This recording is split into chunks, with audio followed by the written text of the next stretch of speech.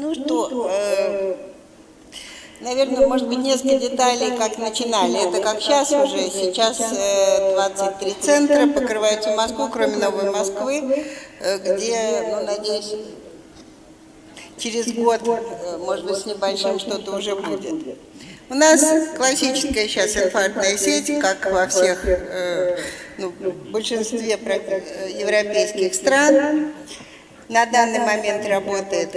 Ну, может быть, стоит сказать немножко, как вот какие были трудности, как просили сегодня говорить о трудностях, когда, особенно были трудности, когда мы начинали.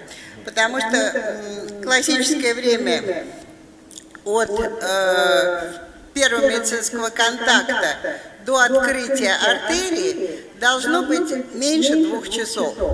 А если оно больше двух часов, как вы знаете, надо вводить тромболитик.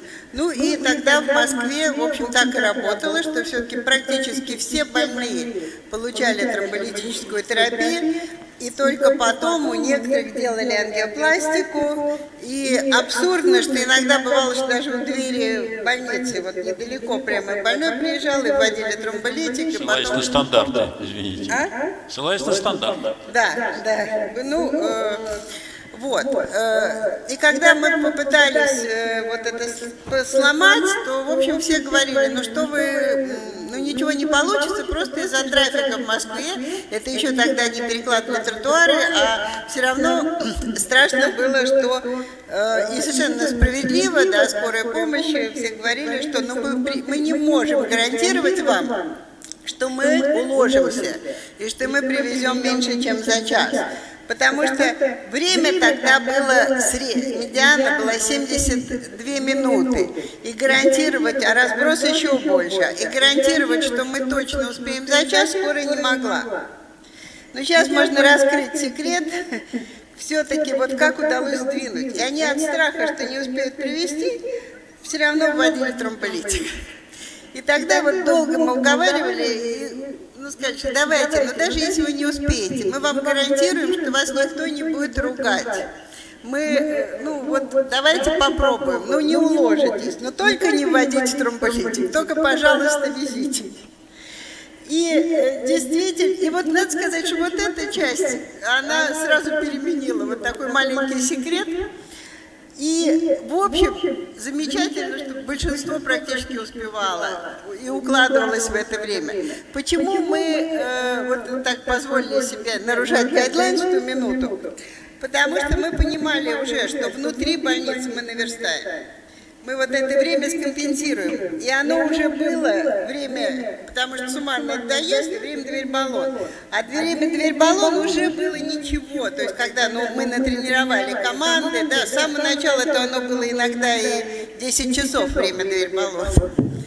Ну, просто не было привычки делать все быстро, да, и поэтому иногда больной лежал несколько часов, и его, особенно после тромболитика, боялись брать. И... Но вот на, на тренированные команды это было уже где-то 50 минут, 48 минут. Ну и потом начали дальше тренировать, и на сегодняшний день, я считаю, время оптимально 38 минут. А, и, может быть, даже не стоит его сокращать, а, то есть бороться вот сейчас за сокращение, потому что в некоторых больницах а, даже дают среднее время там 12 минут, но за 12 минут не успеешь с больным поговорить, вот оно и будет, что при аппендиците будем стентировать. Вот, и поэтому я думаю, что здесь правильно, что время, разумное время 30 минут, это вот нормально, чтобы поговорить, чтобы не ошибиться с диагнозом. Ну вот за счет этого 30 минут мы вот и выиграли. Но на сегодняшний день, в общем, я считаю, что с доставкой все нормально. Ну вот все временные сроки, они на сегодняшний день ну, мы не, не выжмем все-таки ЦИН при Большой Москве, за 10-15 минут мы никогда не будем доставлять. Хотя сейчас вот с выделенной полосой все-таки тоже получше как-то немножко стало. Ну вот то, что мы имеем на сегодняшний день. Количество ангиопластик выросло практически до 90%, это при стеме, и э, летальность упала до 7 при стеме. Конечно, хочется здесь быстрее. Вы видите, что кривая, она все-таки идет вниз, вот так, как положено, классическая кривая, которая расходится, но, э, ну, вот, здесь мы хотелось бы, чтобы снизилось до 5%, но по, да, думаю, что, видите, поскольку все-таки она снижается, мы этого достигнем. Сложнее с инфарктом без подъема СТ, но как профессор Альберт вчера показывал, инфаркт второго типа. Не всегда надо нам оперировать, да, поэтому здесь нам и не нужно 90% иметь э, первичных ангиопластик. Но на сегодняшний день в Москве 56, но я думаю, что все-таки 70% надо достигнуть.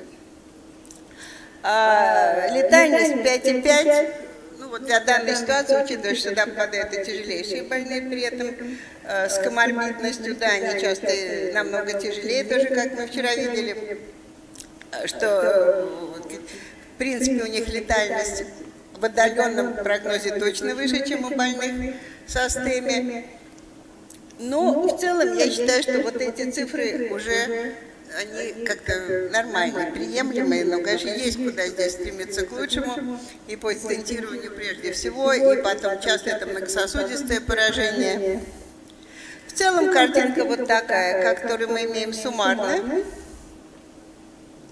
Количество ангиопластик. Вот здесь интересно, что упало количество ангиопластик в Москве при больно-приостном инфаркте миокарда, но получается, что оно упало за счет того, что просто уменьшается вообще количество больных с инфарктом.